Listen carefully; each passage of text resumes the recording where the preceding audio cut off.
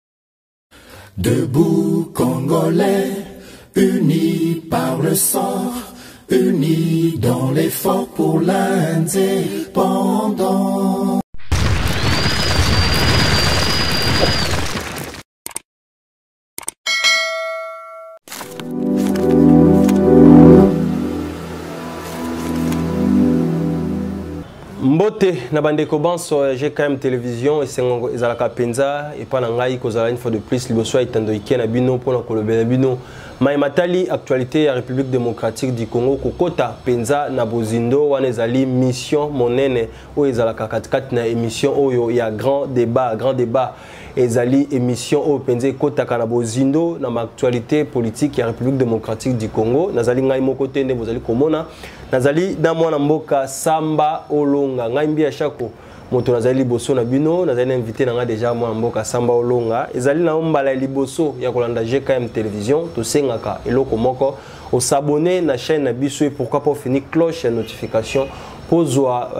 ozwaka euh, tout le temps maye malekaka na chaîne na biso nakozala égoïste te nakopesa déjà mbote mwana mboka samba olongo ah oui, mbote ndeko shako boni santé boni santé ya ekolo makambo nyonso non non santé eza malamu ndenge ozomona epuis santé ya ekolo biso nyonso tozosouhaite kaka le meilleur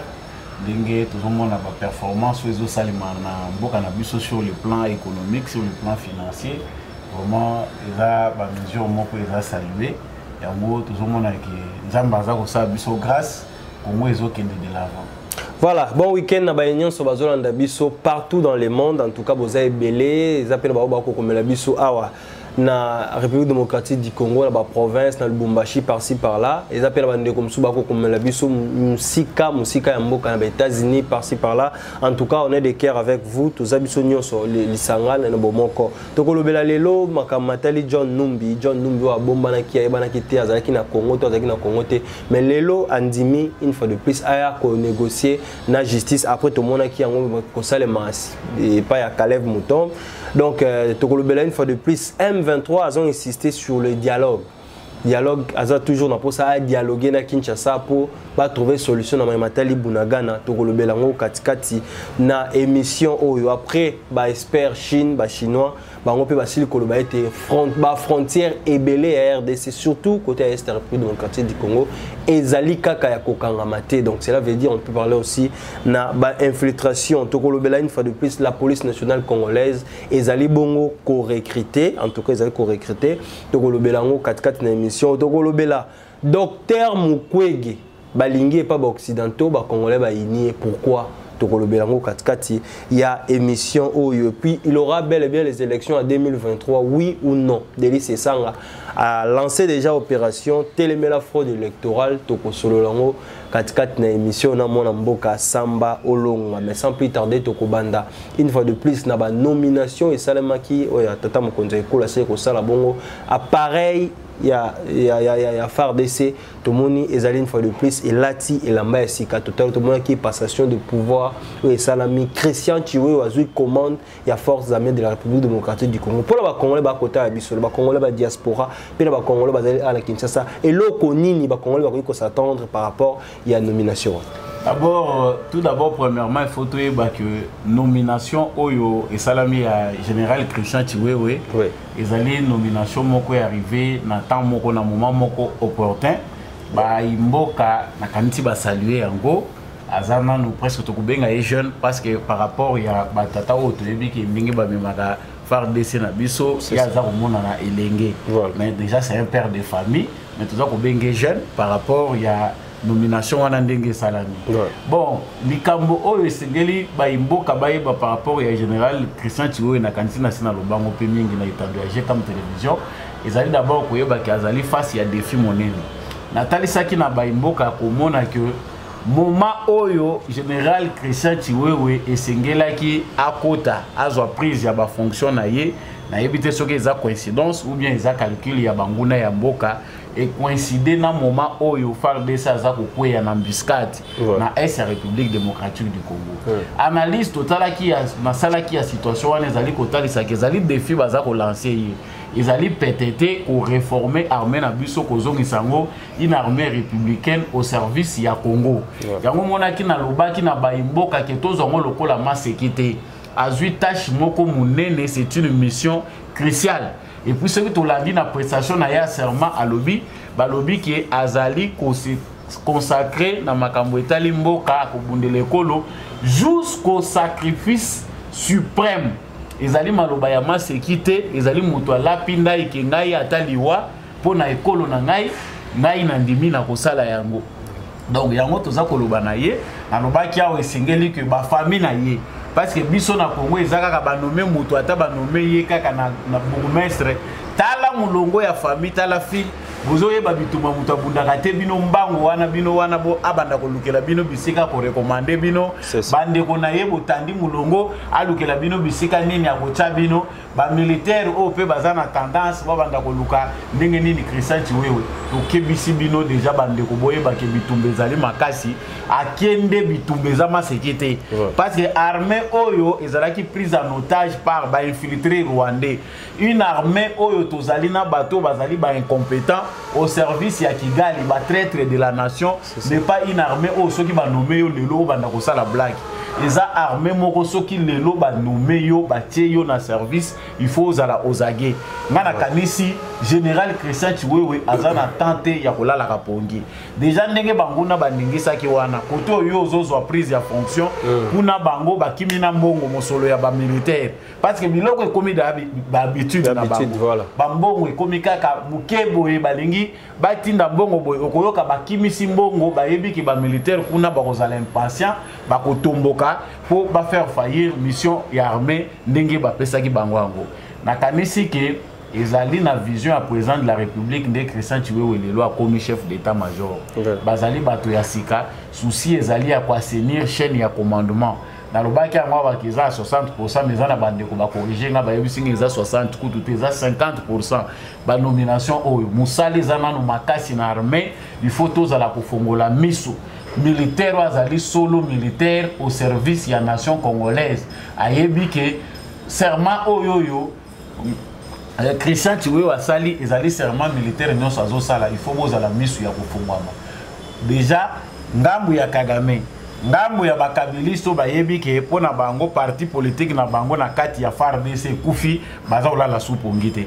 frustration eza makasi na ngambo ya bakabiliste basi bakomisa armée lokola sécurité ya parti politique na bango armée ebatelaka bandako na bango bakongole bakufaka armée ezala instrument na bango ya kocreye nango instabilité na kati ya mboka nakanisi eza bitumba oyo toza kobanda sika awa mais président de la république asalakaki alobi ke vision na ye ezali ya kocreye armée moko ezali puissante armée moko forte awa na afrique centrale avec cette jeune génération nakanisi ndenge lelo bafinance na biso eza komata avenir na kati ya armée eza kitoko na souhaite bonne chance na ndeko na biso eh, mwana mboka christian chiwewe mpe na bamosusu oyo baza nome que ça soit na garde présidentielle que ça soit na état major kuna bango nyonso bakoba batrahir te ndenge balobaka ne jamais trahir le congo eza slogan ya pamba te ezali cri monene oyo ezali serment monene oyo bango basali ya ko jamais ko trahir mboka na biso voilà ba félicitations na Christian Chiwewe en tout cas place wana ozui j'espère que oza pasteur tant ozwaki nomination en tout cas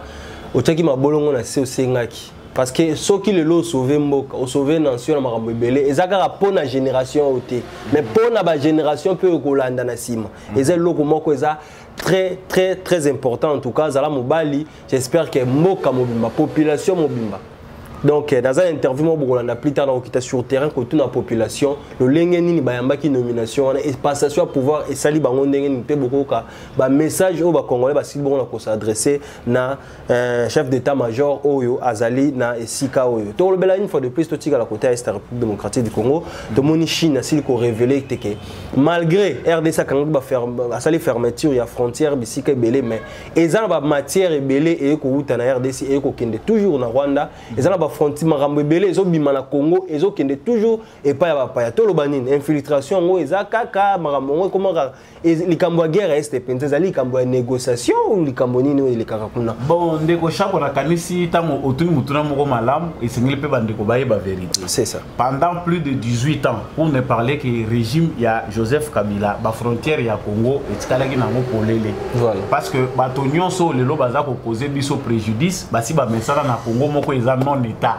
voilà. elakisi ke congo de, donc sur le plan du droit na forme eza un état mais na fond le congo n'était plus un état existence na biso comme état ezalaki bani c'est-à-dire ndenge chine alobi eza likambo ya sika te pour un grand pays comme le congo na dimension ya sous continent il faut tozala na haute surveillance na makambo etali bafrontière na biso ouais. nous sommes parmi les pays hautement stratégiques na monde c'est-à-dire toza na 9 frontières 9 pays voisins premier ya monde azalaka na 13 pays 13 pays oyo bazali frontalier na ye mosusu azalaka na 11 biso toza nango 9 position oyo toza nango na afrique ezali position moko ezali kopesa biso nature vocation ya puissance kozala puissance na monde ouais. soki chine lelo alobi que bafrontière na biso mosusu ezali nano polele baincursion ezali kosalema balobi ya solo lelo président félix tshisekedi tondimi te ke na 5 ans oyo ya kosala awa baproblème na biso nyonso ya sécurité ekozala résolu tozali na problème oyo ezali kosenga ndenge déjà na armée réforme eza kosalema barecrutement eza kosalema ntango nyonso mpona kobakisa effectif militaire deuxièmement eza mpe likambo etali dgm na biso direction générale na biso ya migration ezalaki lokola prise en otage na epoque ya kabila ndenge toyebi baservice na biso ebele ya leta ezalaki prise en otage na barwandais même s'il y a beaucoup de détails ifo kopesa kuna mais lokola félix ekedi aye awa toza sur ke deuxième na biso il faut abanda mpe nanu politique ya renforcement ya bafrontière ngai nakanisi ndenge président de la république namonaki frontière moko na entre je pense entre ruchuru oyo batongi vraiment poste frontalier ya, ya, ya malonga eza voilà. ya lufu te mais une partie là à l'est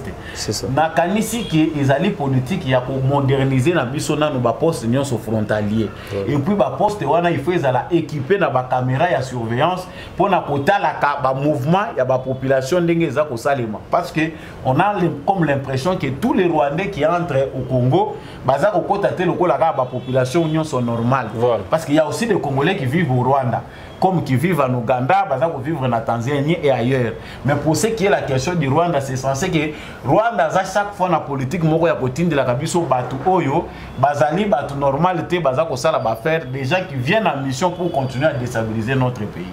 Loko la Chine a révélé makambo parce que toutes les puissances sont en compétition. Ba Chinois lelo ba comprendre que Amérique aza ko bousculer bango babima na Congo. déjà amérique comme partenaire privilégié ya ndenge amesana koloba yango partenariat privilégié koseka te ndeko shako mpo ngai partenariat privilégié wana ngai nasi na sanza yango bakongolaki basanzi yango déjà certainement soki lelo okotamboli na micro baladere na yo ndenge osalaka yango sur 10 congolais okoki kosutuka peut-être 10 nyonso bayebisi yo ke partenariat privilégié wana ntina na yango eza te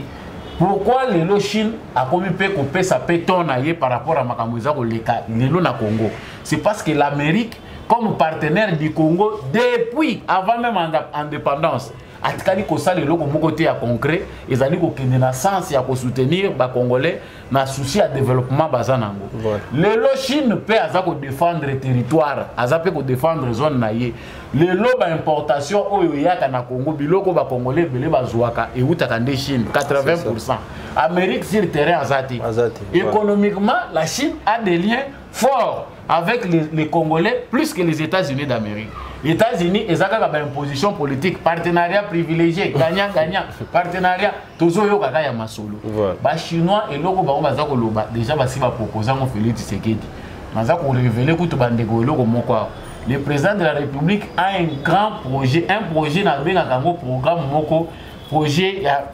développement local il y a, il y a 145 territoires ils a projet moko programme moko ba, ba chinois baza ko féliciter yango ba russe balobi nanu tomona dirigeant ya boye te ça c'est un programme soki evandi nyonso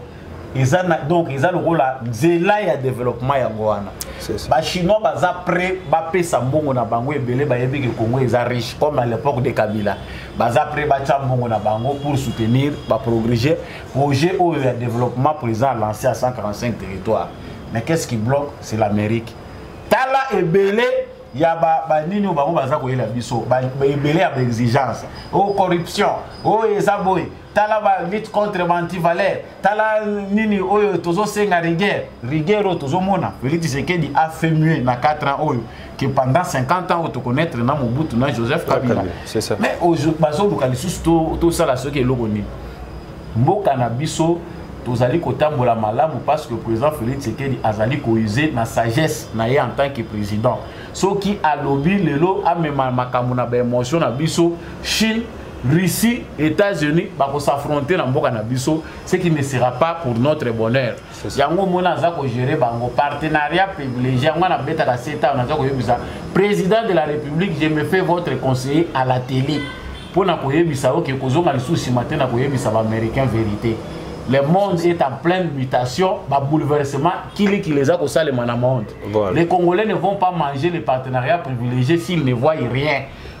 Parce que concrètement, boy, oyo Congolais a ya misu ki mona mesu toza ko mona ngote. C'est dans l'ombre, c'est que les États-Unis font, Jusqu'à là aujourd'hui est insignifiant par rapport à au Congo. Nous, on attend sur le plan sécuritaire que États-Unis d'Amérique a réparé préjudice là à a causé na Congo. Si aujourd'hui il y a terrorisme au Congo, bah, américain bah, Si aujourd'hui nous parlons des ADF, M23, je ne parler que de ces mouvements-là. les américains sont responsables alors batika kokosa biso il faut koyebisa bango ke kongola asa ayebi verité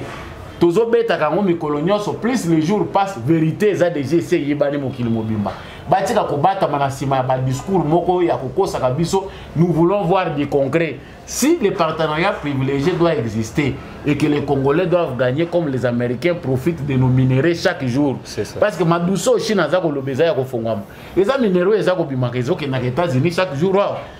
ah, minero ebimaka na uganda minero eza kobima na rwanda minero eza kobima na bafrontière nyonso eza malléable qui en profite ce sont les occidentaux yango mpo na kosukisa na motuna otuni nalobi ke likambo ya chine batala yango malamu biso tokangeli moto porte te problème ya chine ezali ke bachinois mpe baza mpe na magui esengeli bazonga dans l'ordre bisika oyo oyo bango mpe baza kotosa mibeko te il faut revoir toutes ces histoires là de manière à ce que bacongolais baprofite na barichesse na bango voilà en tout cas kala nde ezalaki esengo koloba partenaire partenaire parce que congolais azalaki na obscurité anoyeba te qu'est ce que ezalaki bacongolais aganyaka nini nsima oganga États-Unis partenaire privilégié kasi lelo ebimi na miso ya bato totala depuis 2000 ans soki depuis 1900 combien oyo rdc azali na, na, na états-unis d'amérique eloko moko te oyo eza ya bénéfique mpona bacongolais eza te mpo états-unis ata stati ya moke oyo états-unis aya kotonga eza te juste kaka kopiolola kopiolola kopiolola tomoni nsima tosilaki koloba eloko moko awa bafrdc bazalaki bongo atake mbongo basalaire esilaki bongo na kobunga mais après cela tomoni m23 asili kolanse lisusu message azalaki koinsiste dialogue avant ke bango baabandonne bongo bunagana c'est vrai bango bazolinga bafaire perdre biso temps guerre ekomi mena guerre ya baesprit euh. parce que baesprit na congo eza lisusu kosupporte lisusu buzoba te avec il faut to avouer yango que démarche oyo déjà félix tshisekedi asali depuis accéder na pouvoir comme président de la république eza démarche moko molai aépuise procédure nyonso ya paix oyo moto asalaka mpo na koluka kimia na phase oyo tokomi les esprits au congo sont chauffés tokoki kosupporte lisusu te baridikilize biso soki lelo tomoni président félix ekedi ase déplace ke akutani na bato moko boye fo toyeba yango ke option ya dialogue eza lisusu option congolaise te bisika oyo bango baza koluka babenda tshisekedi si pe accepte à se déplacer c'est seulement par courtoisie diplomatique que non te na se déplacer na ngai mais le vrai discours la vraie euh, fermeté congo déjà satalisi yango voilà. Le Congo a déjà classé le M23 comme un mouvement terroriste.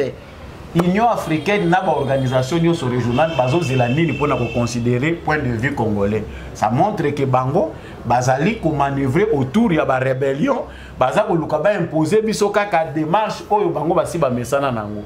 Pona nini États-Unis pe azali te ko kende derrière oyo Congo alobi pour déclarer une fois pour toutes en tant que partenariat privilégié que le m23 c'est un mouvement terroriste comme l'a dit la rdc c'est parce qu'il y a encore des gens aux états-unis d'amérique qui tirent profit de l'aventure qu'on appelle m23 alors congolais fo ayeba vérité soki biso nyonso bacongolais tolobi liloba moko nakanisi ke betise wana tokoki komona yango lisusu te le président de la république n'a plus l'état de adialogue na m23 m23 bazoluka badialogue bakodialogue na nani na wili ngoma to bakodialogue na sultani makenga qui ne sont que des pantins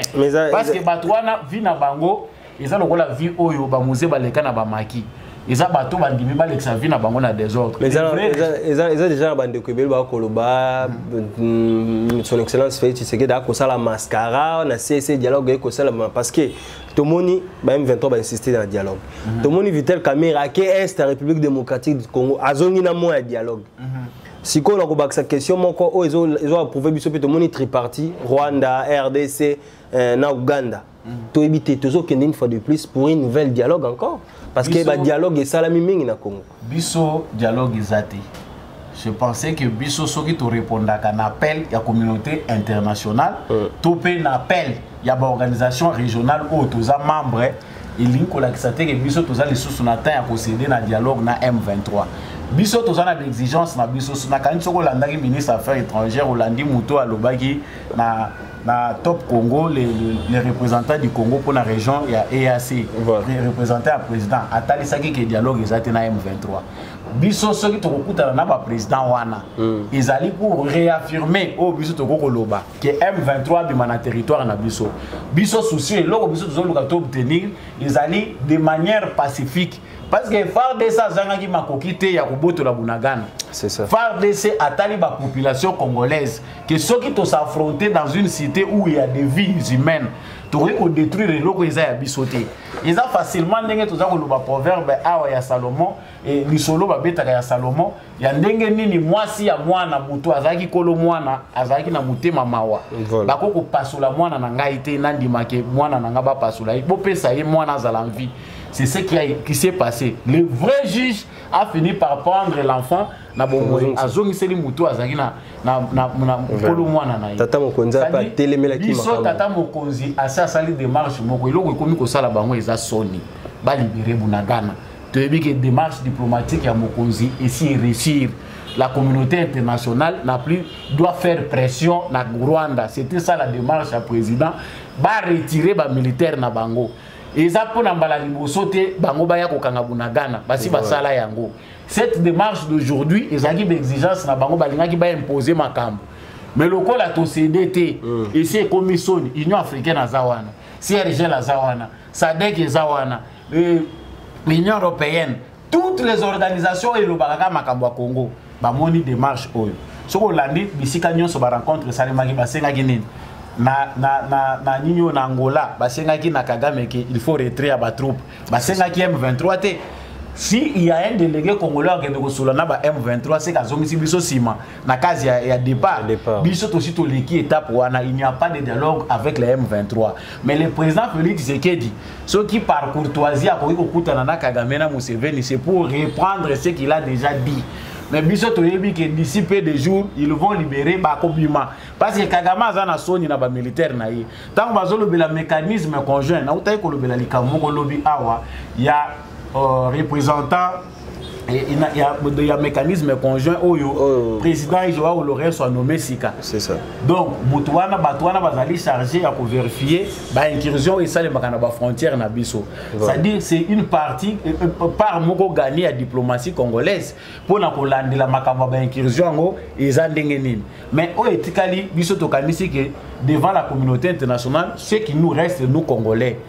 naza koloba yango awa à haute voix bato baza kokanisa ke félix tshisekedi est lâche parce que il a privilégié la démarche diplomatique boza komikosa le congo se prépare bien pour la guerre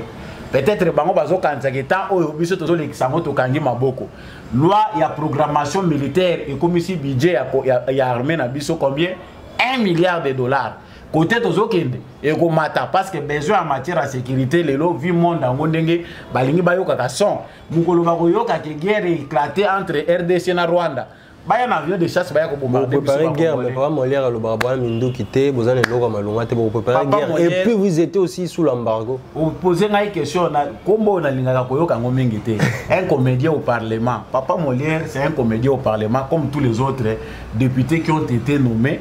bato bamanipule bacongolais na epoka kabila awa ngai ntango nayokaka olobi batangi papa molière nayokaka kande emataka ngai asala na bango eza temps oyo bango bazosala parce que molili epermetaki ke bango bakóma lelo badepute mm. mais biso armée na biso bango motu bayebi se ke armée na biso basalaki nango na époque ya joseph kabila mais aujourd'hui personne ne peut dire que notre armée est faible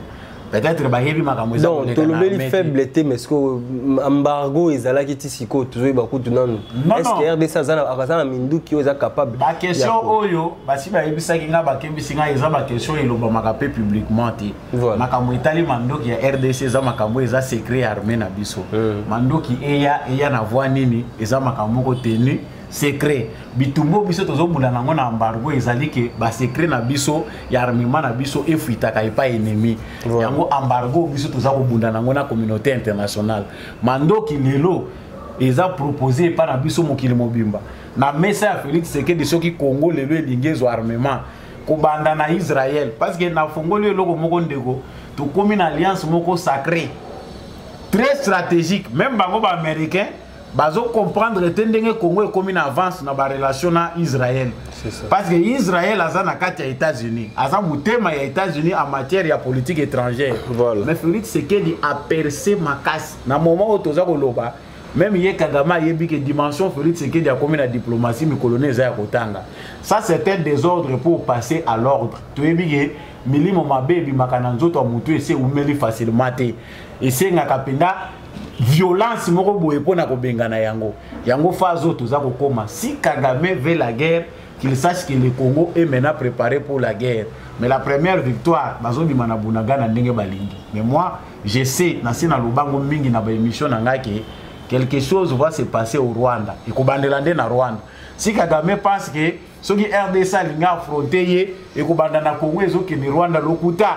La guerre va commencer au Rwanda et c'est dans peu de temps bitumbe kobandela na Rwanda. Vous amis rwandais qui nous écrivez, sachez que ça va commencer à éclater à partir du Rwanda. bakoyeba kote kowutela te kowutela na congo te et cela ne va pas traîner merci tokota une fois de plus na mai matali john numbi nsima ya kobatama kobatama kobatama john numbi ye moko akomi une fois de plus kose prononce aya anégocier na justice maloba na oyo ezali nini bon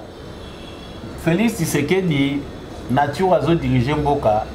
ba inconscient ebele na ba ba nabengaka bango ba mediocre spirituel bamonaka ye lokola yuma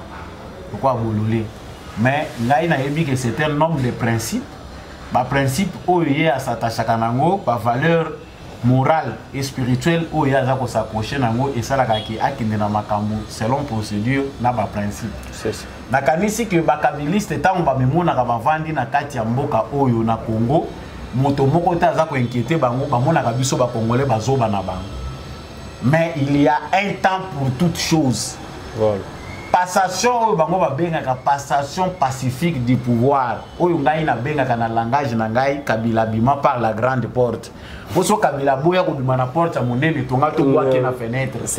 peut-être alingaki abima mike mike bamosusu balinga bakatisa na nzela brazzaville na mai ndenge bato ya mobutu bakenda aujourd'hui bamillion na bango bamovanse ya mobutu moko te azotanga bamillion hmm. libien malaki mbongo nyonso edispareta mais na logique ya politique ya udps prôné par etienne tshisekedi oyo félix tshisekedi pas incarna ya non violence Euh. signe ya paix oyo esalaki ke alternance pacifique esalema esalaki ke kabila bimi bapesani mbote na tshisekedi bato de commandement oyo ake kovanda oyo ya ye mais basenzi oyo bandeko na biso spirituellement baza mort bamoni yango ke eza buzoba kaleve mpe azoni te après euh. avoir koyengayenga amoni ke bisika nyonso azokokende na bacouloire nyonso ya mokili mobimba tshisekedi azokutanaka na ye kuna parce que elima ya tshisekedi oyo baza komona bango bazomona yango maseki le phénomène tshisekedi tel que laissé par etienne tshisekedi wa mulumba c'est un phénomène soki yo oluki bitumba na idps même na famille na yo okuta bango bazali bakobundisa yo vraiment Kalev abundi nanu mpona ya kokoma na likambo ya John Numbi. Kalev abundi, c'est un renseignant. bapesaki ye possibilité awa ntango félix tshisekedi akomi président alongolaka ye te kaleve amikimelaka ye moko hmm. alobi te nakoka suku asime bafonction wana te mabe eleki mingi obotali yo moko otali ah bato oyo nanyokola na tortura nasala boye nabandaka na travaille na bango te te te kaleva akima mabe na ye ole otiki okimi otiki mabe azo continuer kodestabilise mboka vraiment c'est-à-dire abimi bake kotravaille bacoup d'état lokola babundi na plan nyonso bacoup d'état oyo bango bapreparaki esimbi te eza deja ko isoler kabila te je n'irai 3 2 1 action je n'irai pas plus loin pour parler makambo ya john numbi ndenge ozoloba ils sont tous dans cette affaire parce que tshisekedi c'est un grand esprit tolobaki na bango ke mabe nyonso bango baza kopense mpo na congo na phase oyo tokomi ekozonga na kan na bango mais lelo tomoni mutov kaleb mutov john numbi mm -hmm. eza ko ko livrer vraiment Kabila te boy nga nazoloba ke Kabila kozala juger na mboko oyo Congo mpo na bato bakanisi ke le c'est oublié kabila na bakabiliste ndenge baza kochante baza kozalire wana bayeba yango ke justice transitionnelle ekozala même si bakokomue bapeine na bango au nom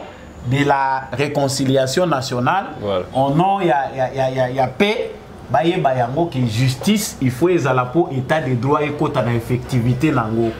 tant que bato oyo basalaki mabe pendant toutes ces années baza nano awa nous ne sommes pas encore entrés dans la phase d'une justice d'un état de droit voilà. il faut transition moko esalema awa pour qu'il y ait une justice oyo ekomeka korepare nanu bapréjudice oyo bato bakutani nango awa comme ça soki biso nyonso mémoire na biso eza lave nde tokoti na effectivité ya un état de droit sinon te na momo oyo tozali koloba awa biso bakongole nyonso mitema ebeba na makambo bakabiliste basala biso que ça soit sur le plan économique que ça soit sur le plan humain makambo ya droit de l'homme ouais. baassassinat baenlèvement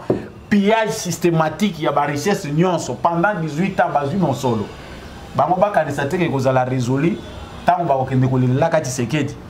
parce que eza soki akeyi akeyi asoki motema amoni ke nyonso asali ya mabe azokoka te alaluki négociation le président ye moko ntango tozoloba wayebi nous avons souffert moi j'ai le séquel ya bambangu tokimaka bato tomoni ndenge bato baperdre bavi na bango kalev mutombo soki peut-être balimbisi ye epa Bertin Wanga et les autres qui ont accepté de les pardonner, tous les Congolais ne l'ont pas encore pardonné. Voilà. Cela n'empêche pas le travail de la justice. Batumususo Bazali na dossier na bango Kalev et Longwete. Donc il y a une démarche à suivre. Batika kozala moto moto. Soki bazana besoin bazonga na mboka Tshisekedi abengana mutu te. La porte du Congo est encore ouverte parce que Katumbi est retourné aujourd'hui. Lelo Katumbi c'est l'opposant principal de Tshisekedi. Mais azonga na mboko eti. Ce qui montre que Tshisekedi n'a pas de compte à rendre à quelqu'un. Ceux qui ont sala mabe na Congo, bo sala club na bino ya rédemption, ceux qui toko benga ngo bongo. Mabe oyo bino bokoza na Congo, ceux qui ya solo mitema na bino eza kokoma peto, il faut réparer les préjudices oyo bokozela bacongolais soki bakabiliste lelo baza kobima badonneur de leçon c'est parce que ils sont ignorants de la démarche oyo eza kolikamba mboka lelo oyo eza kosala ke baza kotala bango na miso ya mawa nous ne pouvons pas en même temps vouloir faire décoller notre pays mais to créer scandale ya baarrestation ya masse mais kala te porte ya justice ya solo eza kofungwama moto na moto arépondre na baacte na ye mais boyeba yango soki eza badossier d'état te eza badossier no individuel obotala mapango ya bato oboma moto de manière personnelle oza mission na yo te justice ya mawa ekozala nango te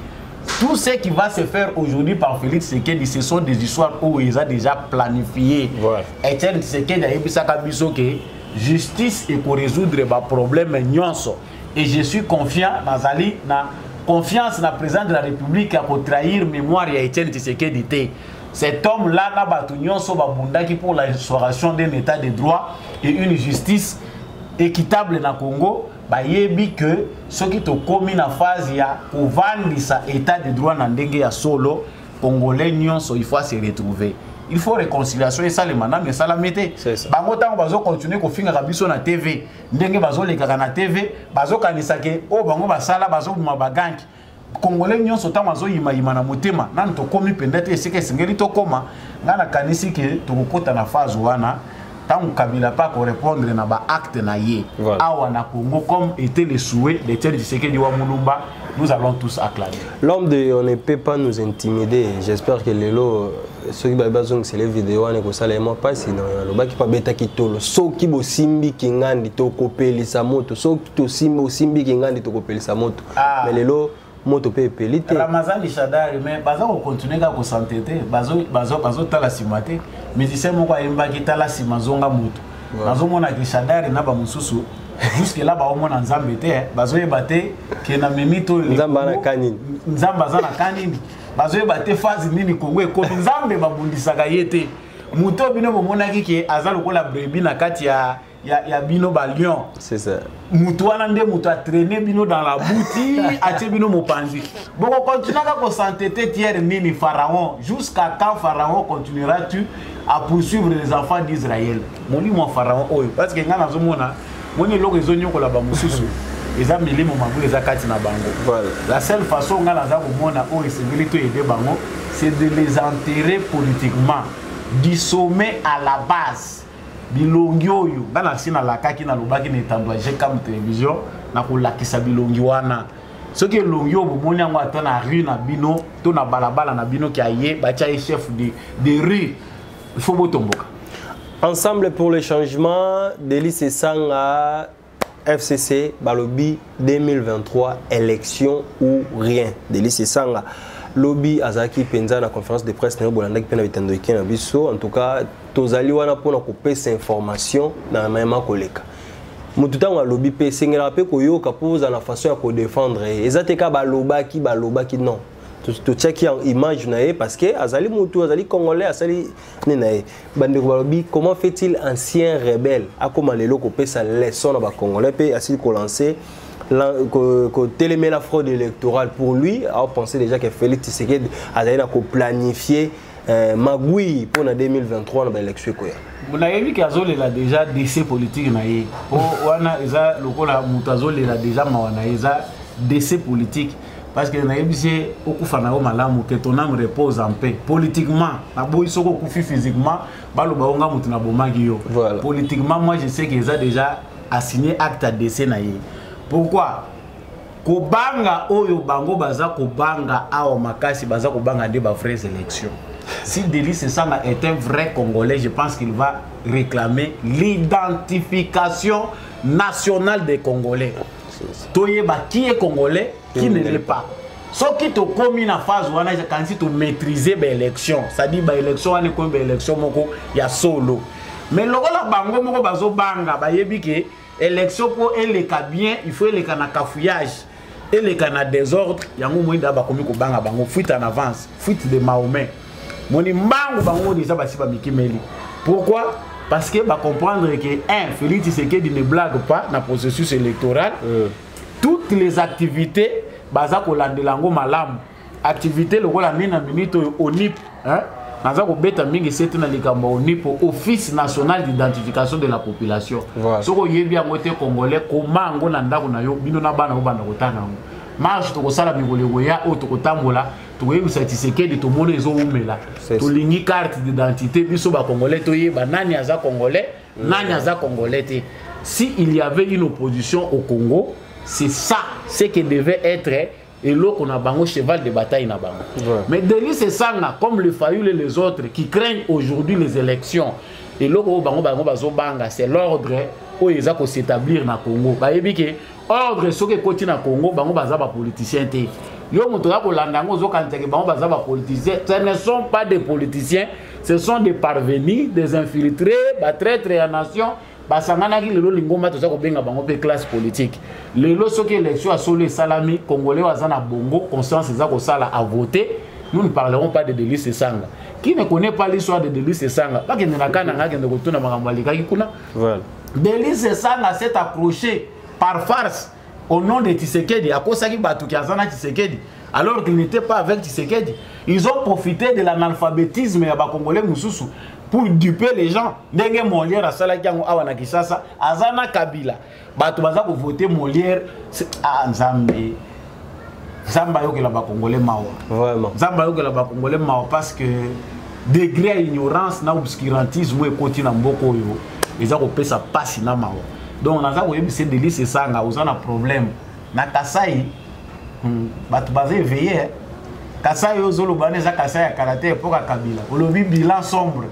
mboka ezotambola bien te biso toza komona ekonomi ndenge eza kokende euh. bisika nzela ezalaki te nzela ezokota bato bandaki kosala bafere na bango bamoni ke banzela bandaki kotambola na velo le bayanda okasai oyebi deja esengo na bango ntango bazomona ke banzela bandaki koya moto azoya na velo likolo asaka masango na 3 saka masango na velo banda akangi nzete mopanzi nyonso oyo oyo bakoti esi etengama likolo ya komema banene soko bazotyele nzela epermettre yeke mwa tukutuku ne soko azokita boye azokende ne alaise yo delise sango ya koyebisa bato ke tisekedi ne fait rien batya yo un ancien rebelle ozomonaka eza na mpasi seuls les ignorants ekosa kopesa nga ata moke mm. seuls les ignorants hein? Mm. et les amnésiques mais baignorant baza su te oso oza ignorant na ntango na congo oyebi te makambo eleka na mboko oseke oza ndoki mais baamnésique soki oza na perte ya mémoire là je comprends nde moto bakoki koyoka baprokwa sesanga mais dans le temps normal ndenge tozali bakontinue na bango kose distraire ngai nayebi ke fierté oyo bakongole baza nango lelo le congo est entre les mains de congolais awa toza na processus ya korécupere mboka na biso oboyi okei soki olingi okoti il y a un camp pour les congolais et un cas de prédateur tous ceux qui vont entrer dans le cas de statu quo au oh, chef na bango eza joseph kabila ils sont voués à la mort politique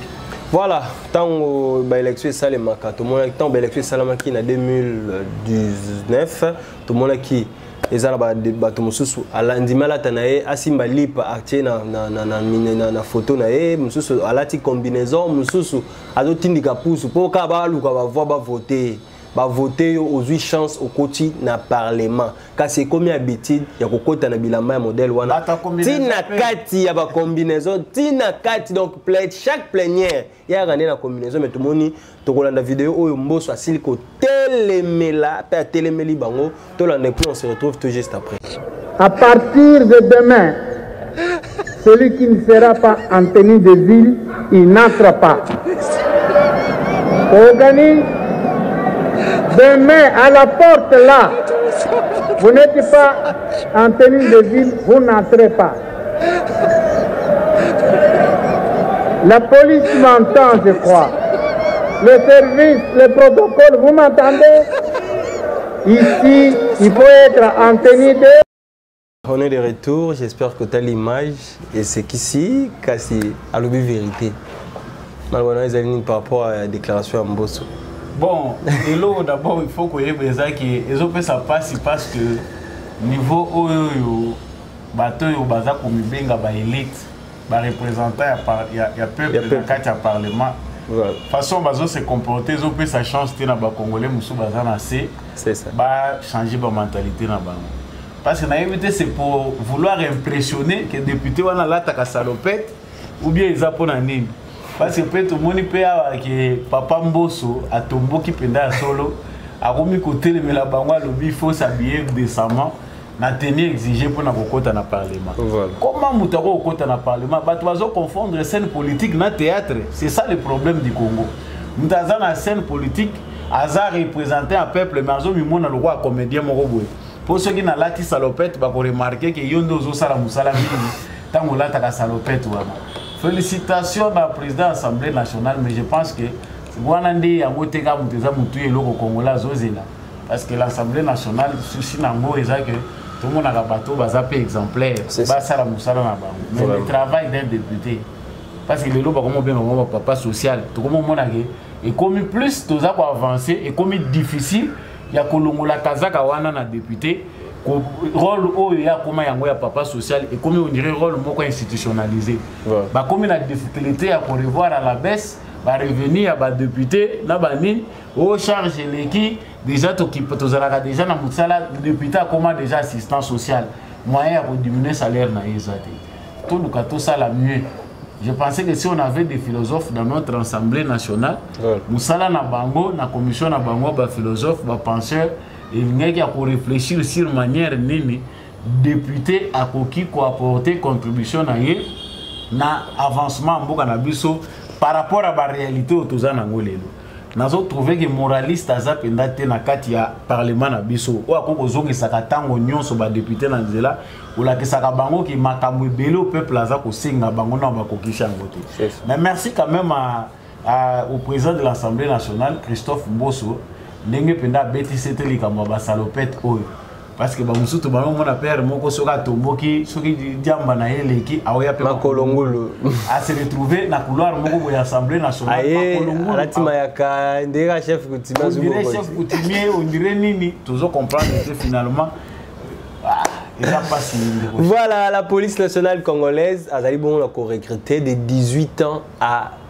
35 ans eza esengami na congolais nyonso na pisika nyonso bokolanda biso en tout cas na baye bazali na province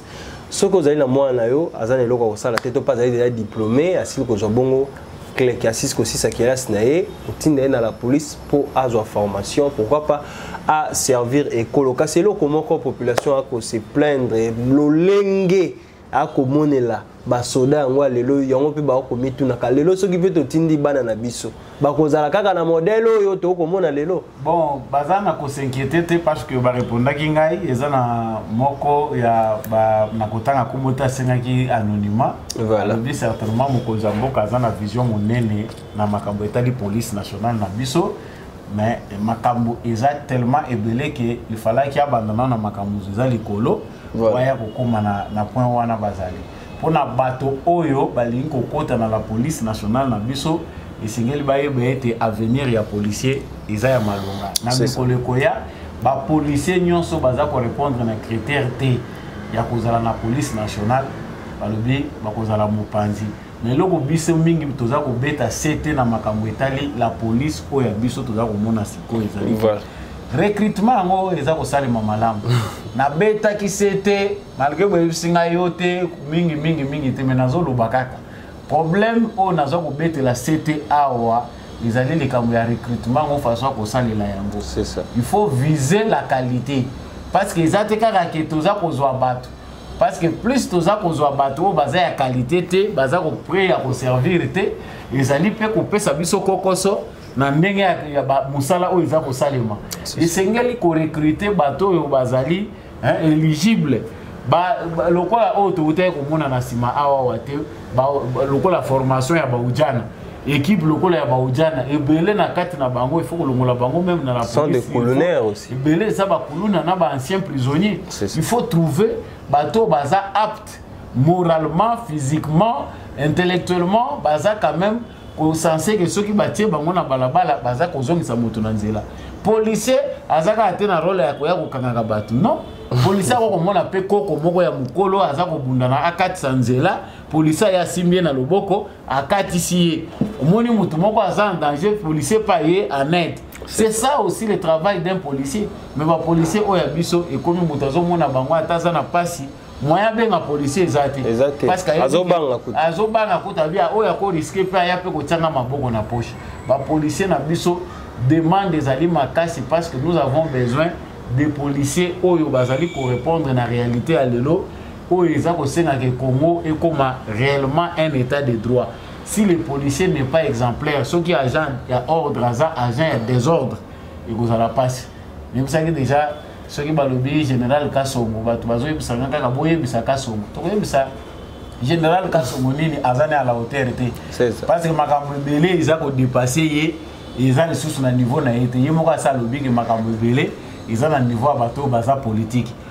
mais même soki makambo eza na niveau ya bato baza politique yo en tant que responsable ya la police bainnovation baproposition nini oza kopesa toza komona yango te donc en tout cas pour la ville de kinshasa il faut une police professionnelle une police oyo ekoki korépondre na lelo ndenge toza komona surpeuplement oyo toza na yango kinshasa eza na bazone d'ombre ebele madusu eza ebele oyo eza kosenga ke présence policière ezala mais lokola baza koforme police na biso il faut babakisa matière essentielle police na biso il faut ajouer pe rôle ya police ya mers koede bato bazonga na nzela voilà. nasi napesaki proposition na ngai awa nalobi bobenga ngai ata naya koyebisa bino makambo nini naza kokanisa bino booluka kaka baconseiller oyoyo nakoloba te naboyi naya koloba mpo soki nalobi voilà rôle ya la police ezali kobatela population na biloko na yango et non moto so amoni policier azwa panique et non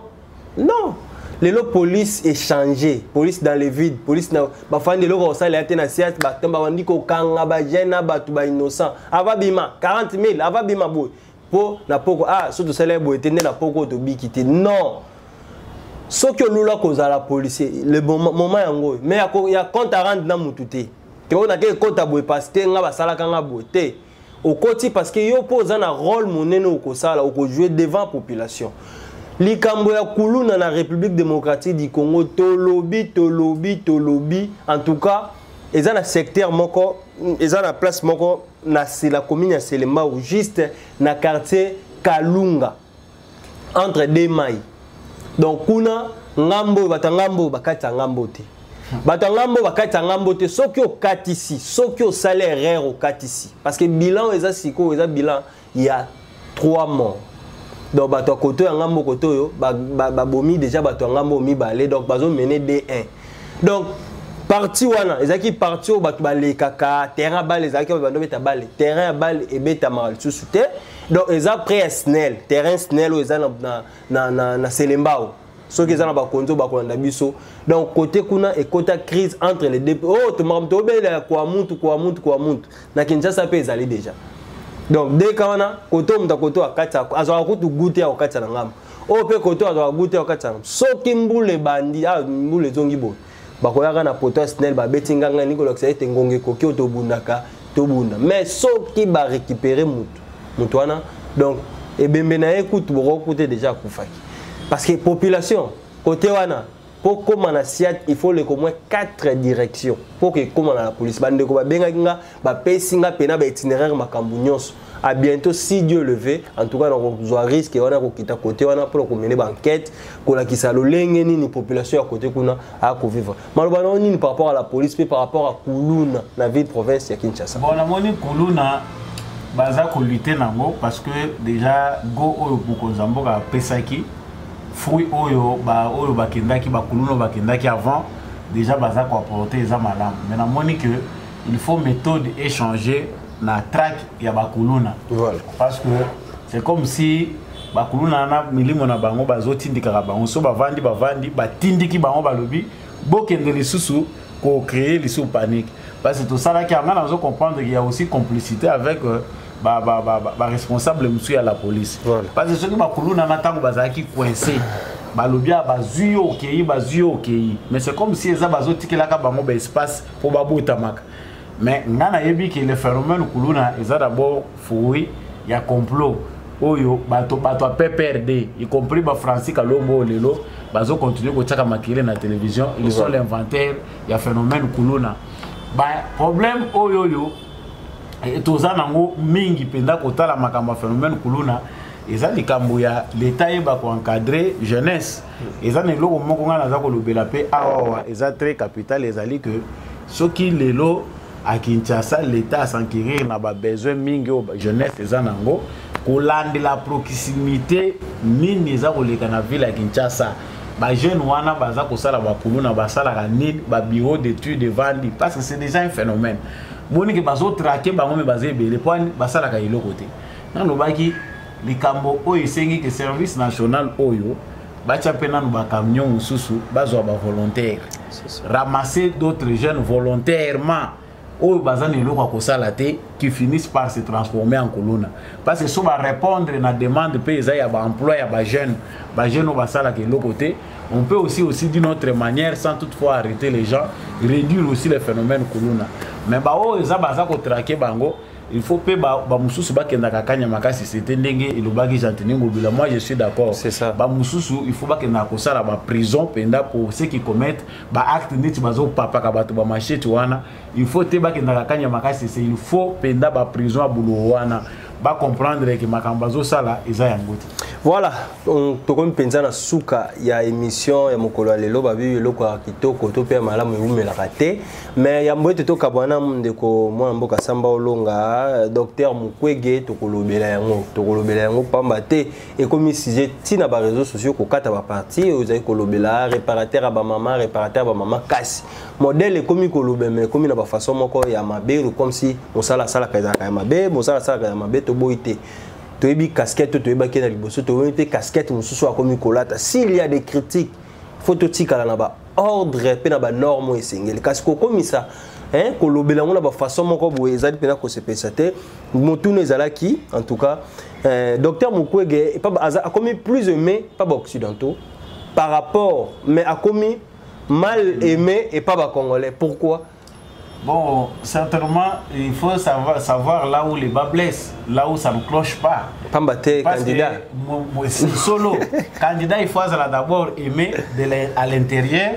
pour être apprécié à l'extérieur. mais oyo ya biso bakandidat olobi osouleve question moko eza très, très capitale voilà. candidat oyo mukwege oyo aza déjà potentiel parce que nana déclaré yango te aza beaucoup plus aimé na campagne na ye déjà sa abandi yango mm. libanda mm. qu'à l'intérieur. Ce qu'il faut savoir de Mukwege nasi pe na loba yango, c'est un agent à l'occidental. Ba occidentaux basi ba yebi ke ba africains bazo linga lisusu ba dirigeants au baza ko imposer bango ya ko imposer te. Voilà. Alors il faut te luka façon moko boya ko faire accepter bango ba dirigeants au bango ba ko ponaka bango de manière inconsciente. Yango moni ba bandi campagne. Soko tali forme oyo publicité oyo ba médias français baza ko salela Mukwege, moi je me demande quel intérêt baza nango derrière denis mukwege motu nyonso aza sensé aza na capacité analyse il faut kaka asuspecte amona yango suspect mm. comment un docteur gynécologue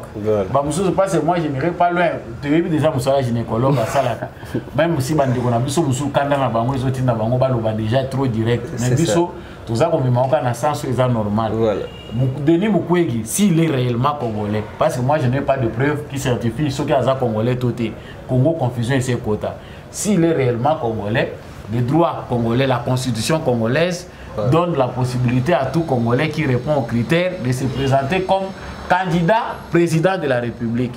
sikoyo likambo eza nde kozala na force ya kolakisa bacongolais vérité koloba yango voilà. sur le plan politique biso bacongolais nous sommes aussi dans les droits ya kotelemela un agent à l'occidental oyo azoya kosaventure mpo na koavigre biso lisusu bacongolais yango omoni bandeko ebele baza kotelemela likambo ya mokwege oyo parce que na congo c'est comme si moto akosala mosala ne malamu alaise te so bamoni kaka moto moko asali mosala ne baapprécie ye il faut bazwa ye babanda kofabrike ye mpo baya kotindela bino ye d'une certaine manière si mokwege ete nero parce qu'il repare les femmes aza gynécologue mais il doit s'arrêter akoki kosarrete mpe na mosala na ye voilà. prix nobel de la paix école na nkombo ya denis mukwege prix nobel et en plus aussi tomoni ke tata mokonzi ekolo azwi likanisi ete kolite mpo na baguerre esila parce que soki guerre esili baviole mpe kosila ame ah, te wana mpenza ndeko na ngai nayebisi yo denis mukwege aza d'accord te ke guerre esila mpo baami na ye nde moto bazosala ke baviole continue bami ya mokwege bafamille clinton babisika oyo azotambola so tozwi kende koluka bafoto na ye nyonso tanda yango awa omona bafoto ya bato mokwege akutanaka na bango nde baennemi na biso bapredateur nde bango wana donc tout pousse à croire déjà que mukwege est pour le viol de femme c'est-à-dire elobi bandeko mosusu yo soki olingi mapa okoluka farine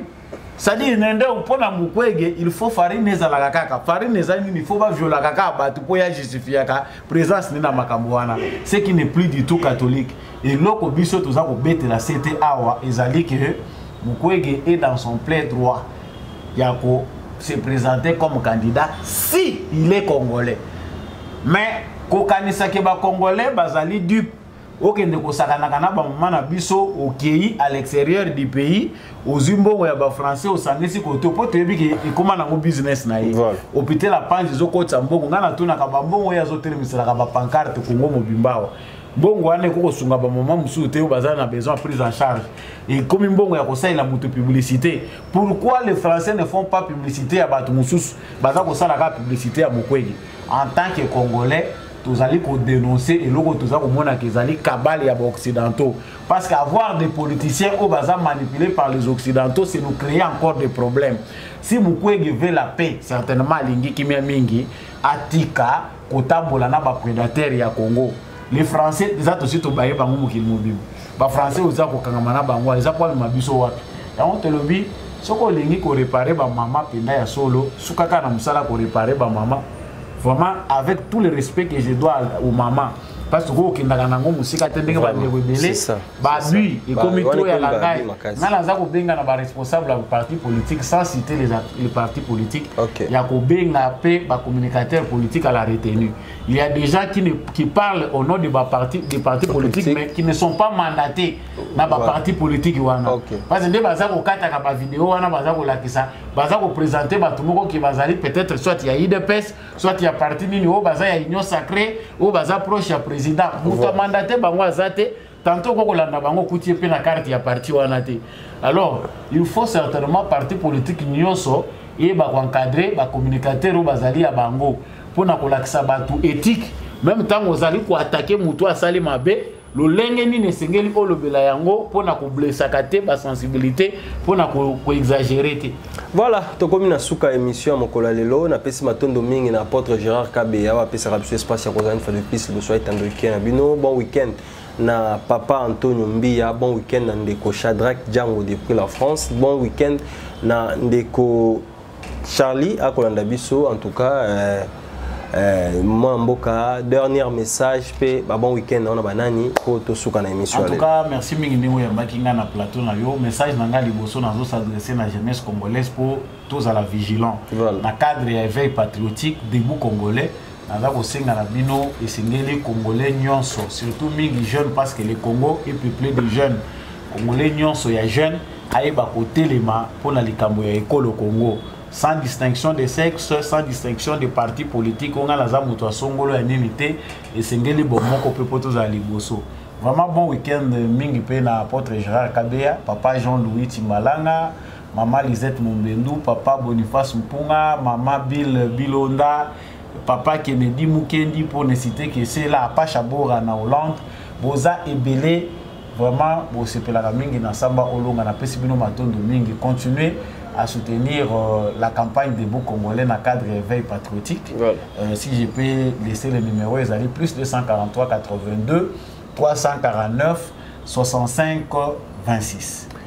voilà tokomi na suka ya émission ya lelo grand coucou na fani na biso neige lukuli hein, dio magique yango oyo soki mpe olingi osoutenir biso banimero ezali wana obengi osoutenir biso donc kosoutenir na conseil na makambo tout pourquoi pas même na mbongo ekozala eloko moko ya malamu ngai na bino tokutani bongo mbala nsima ciao